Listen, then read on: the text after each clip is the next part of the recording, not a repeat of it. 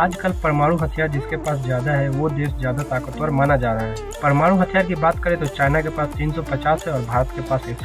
परमाणु हथियार है तो दोस्तों ये कुछ जानकारी थी भारत और चीन के बारे में तो दोस्तों मेरा मानना है कि किसी भी देश की आर्मी चाहे कितनी भी एडवांस और नई टेक्नोलॉजी के साथ क्यों न हो मगर उस देश की आर्मी के भीतर साहस न हो तो वो टेक्नोलॉजी और एडवांस वेपन किसी काम का नहीं है ये मेरी पर्सनल राय है आपकी क्या राय है कमेंट जरूर करें